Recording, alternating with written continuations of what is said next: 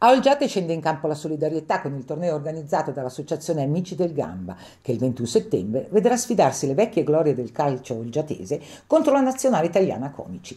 Il ricavato della manifestazione sarà devoluto all'Associazione Revolution di Bustarsizio, che si occupa di ragazzi con autismo. Non nasconde soddisfazione ed entusiasmo Roberto Albè, presidente degli Amici del Gamba, che ha sottolineato la vicinanza del gruppo alle realtà del territorio, in particolare a chi ne ha più bisogno.